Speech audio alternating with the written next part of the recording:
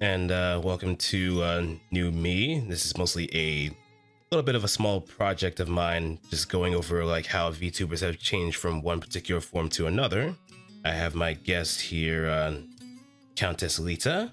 Hello. So, so you can introduce yourself a little bit further before we get to the questions, okay?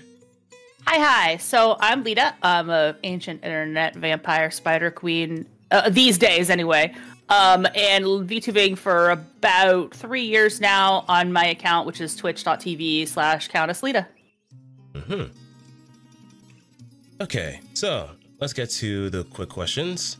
First question is What encouraged you to go with your previous form? So to talk about my previous form, um, I used to go by Lita Gemini, um, and I still do in a lot of places. It's like I think I just recently changed my Steam or my um, Epic handle. My Steam handle might still be the same, um, and like it, like I usually use that like even as my name professionally or whatever because I've had it for so many years. Um, and when I first started doing VTubing, my concept was like more of a space girl. So I had this like uh, a 1980s kind of space girl retro aesthetic um, which is just because like I grew up with uh, uh, older cartoons, and I like the fashion of older cartoons, like like totally 80s 90s kind of vibe. Um, and I think it just influenced a lot of my aesthetic, like as an artist, because I drew my own VTuber model when I first started. Um, so that's kind of where like I started out. Um, and the inspiration, like for that, from like a lore perspective, was that when I was um, in school at one point i had a teacher that i was talking to him about like what my artistic influence was uh, as i just did now. And he said to me like i feel like you're a space alien that was sent to earth but only ever watched our cartoons. Mm-hmm. and i was like yeah i guess that is kind of what i am because i i know a lot about cartoons and i'm very influenced by cartoons um, and I just I I reference them all the time, and like it's like my level, my my lens on the world, I guess. So. Mm-hmm. I said, well, what if that was my like VTuber lore? Like, what if I was an alien who was sent to Earth from space and all I knew was cartoons and video games? Um, and that was kind of my first concept for for VTubing. Hmm. All right. Second question. What did changing to your new form signify to you? So I decided to rebrand uh, this year into something a little more goth, which is another side of me because I really like horror games. I really like horror movies. Um, I really like uh, that aesthetic. Uh, I'm into I'm into spiders. They're creepy. They're fun. I a part of it is like I like really like Beast Wars Transformers and like the spiders on that show were just amazing characters. Mm-hmm. Um, but also like characters that are evocative of that kind of aesthetic, like um, Juri Han from Street Fighter is a big inspiration for me. Um, and like now Kafka from Star Rail as well also has like the spider web aesthetic. And I, I, I made this character like right before that game came out, and I was uh-huh. like, oh shit, she's another spider mommy. That's yep. like my favorite thing. Um, and so I was like, oh okay, what if I did that? Um, I also identify with vampires, um, not in like the Twilight way, but in the like the like blood way. Um, I've lived my whole life with a type of anemia, and I have have to get my blood examined on the regular. And so, like talking about that in a way, like I'm kind of partially vampire myself, so it was kind of a a fun way to twist um, on that. And uh, the other inspiration that I mentioned to my artist or my designer was Elvira, you know, uh, Mistress of the Dark. Um, because, first of all, she's so based. Elvira is awesome. Um, I grew up watching like cheesy horror movies with my dad, and that's a big inspiration to me, like aesthetic wise.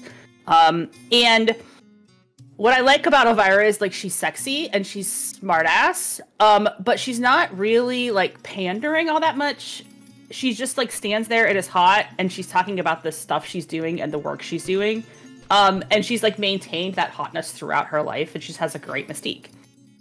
And what i wanted was that angle like maybe i have this sexy character but i'm not personally like a big flirt uh, it, as a person uh i'm still kind of a gremlin i guess. So uh, i would let the character like carry that aesthetic for me and i'm just going to be my normal dorky self like behind that and hopefully that those two things will click together in a meaningful way.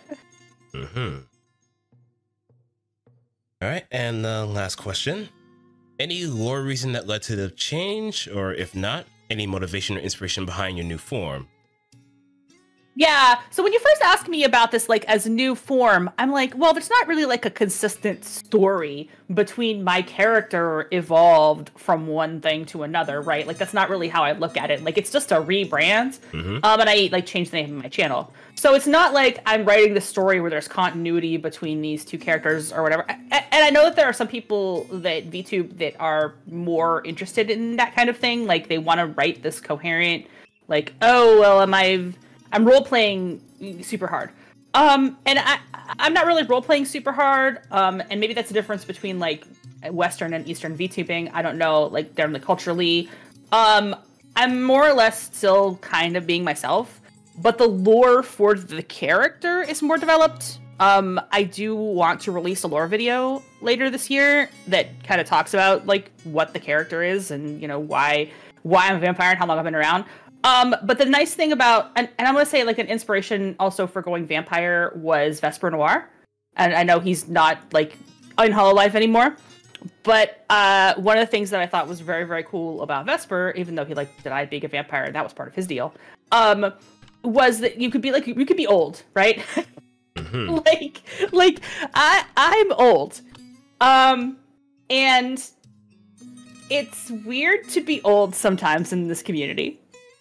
But on the other hand, uh, uh you know, if I'm 423 years old, uh, you don't have to question it. you know, like, oh yeah, yeah. Why do I know shit? I don't know. I'm 423 years old. Mm-hmm. Like, if I talk about shit that happened to me 20, 30 years ago, and people are confused by that, I'm like, listen, I'm 423 years old. I've been through a lot of shit. Yeah.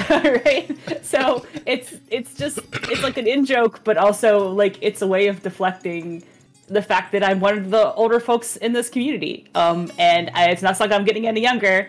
So the the lore there really helps me to like bring the character out and saying, yeah, I, I, I, I, know a lot of shit. And the joke is that I'm like super ancient because I know a lot of shit. Mm-hmm. Uh, the you know the truth, the reality behind it is that I was a college professor for many years.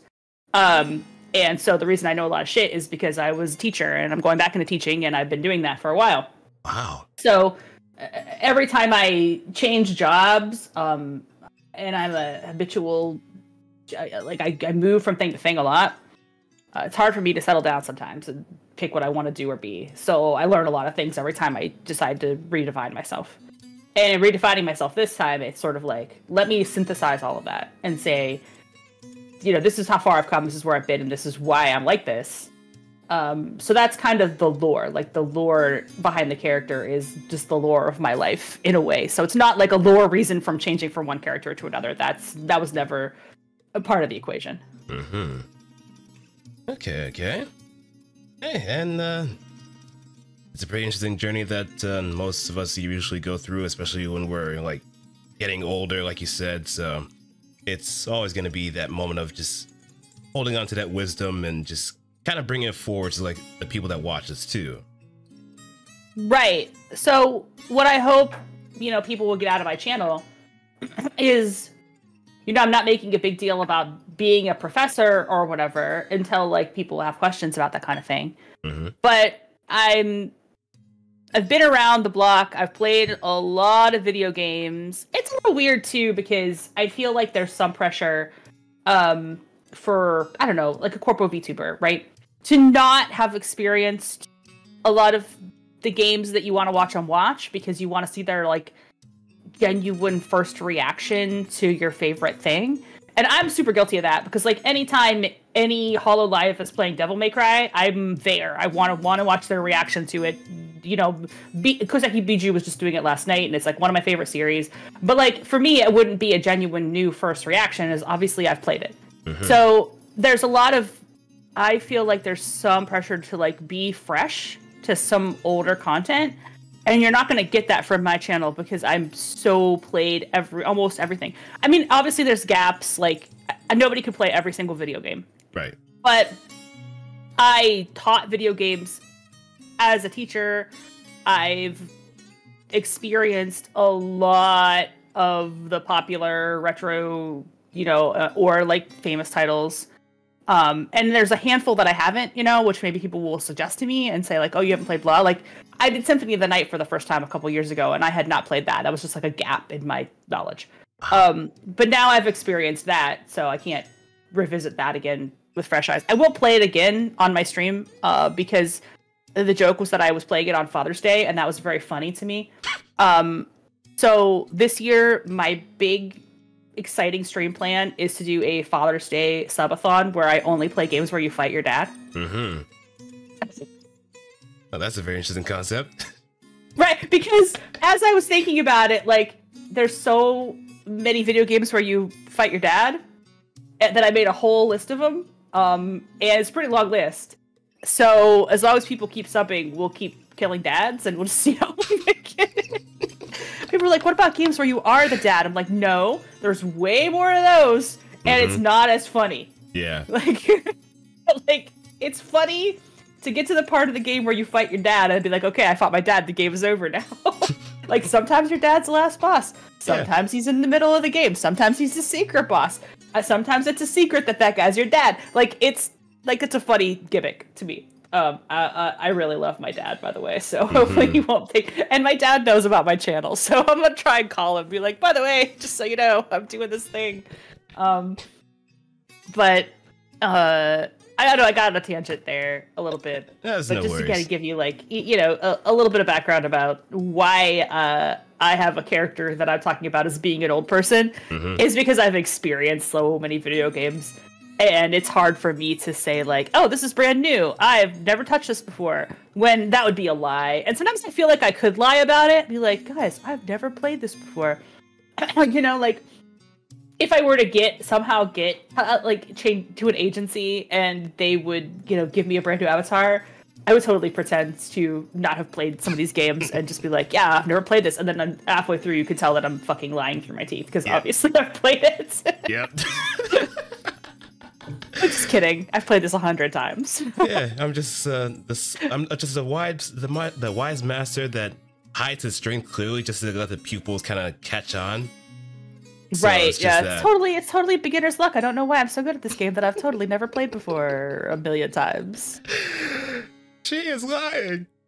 Yeah, yeah. That's because that's the vibe. Because people want to see like, you know, fresh reactions to older games. Um, but like I said, like I'm guilty of that because I will turn on those streams like, oh, they're playing blah blah blah game I love. Oh, I'm Mhm. so there. I've I've got to watch it and see like what they how they react to it. Like I've become one of those viewers, Mhm. and I know because you get those viewers in your chat. Like if you're playing a particular game, they'll only show up for that game Yeah. um, which you know is, i hope that eventually i get to the point where people show up for me but that's everybody's dream right Yeah. um, especially if you're like a variety streamer like myself and i think most vtubers are more variety streamers and don't always play the same game Mhm. more power to people who can stick to the same game or the same content over and over again.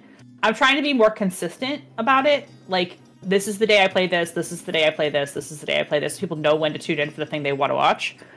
Um, and i think that that is a good strategy to have but there will be a point like when i'm done with Baldur's Gate for example and people who are tuning in for that maybe won't follow me to the next rpg that i play Right. you know, if I'm going to go to Final Fantasy Remake or whatever, it's next on my plate. Uh, I think Cyberpunk is going to be next on my plate after Baldur's Gate. Um, so maybe people are not interested in Cyberpunk; they're only interested in Baldur's Gate. Um, it just that's just kind of how it'll be. Okay. Okay. Oh, I feel like I've gone on a pretty long tangent, but hopefully this has helped you with uh, your project. Ah, this is it's great. It, I mean, the thing is, it was supposed to be like some quick questions, but just having someone just kind of talk out a bit more about what they do, how passionate they are about what they are doing with their VTubing stuff. It's it's worth it's worth its weight in gold at that point. Thank you. I appreciate you so much. Um, and I hope that I also answered the questions that you had about, you know, changing brands, changing forms. Yeah. um, why I chose to do that and what the what the evolution of that decision was all about. yeah, you're pretty much on the money at that point. Great, great, great. And uh, to anybody that's interested in watching your content or just following along with you, do you have any kind of like uh, stuff that you can maybe just chill out for a moment? Yeah, so on Twitch it's Countess Lita L I T A. Um, on YouTube, same thing. If you want to watch my VODs, mostly the Baldur's Gates VODs get posted. I have posted like Mario RPG as well. Play a lot of RPGs, horror games. Um, I'm going to be posting Alan Wake come this coming week. Um, and do uh, uh, um on Twitter as well. Yeah, so Twitter and Blue Sky actually, which is I, I don't see a lot of people on Blue Sky, but I am on Blue Sky. Uh, all the same username, so you can find me in all those places. All right, excellent. It was a pleasure in interviewing with you, Lita, and uh, I hope Thanks. you have a wonderful day as well. Good luck with the rest of your interviews as well, and have a terrific day. You too. Take care.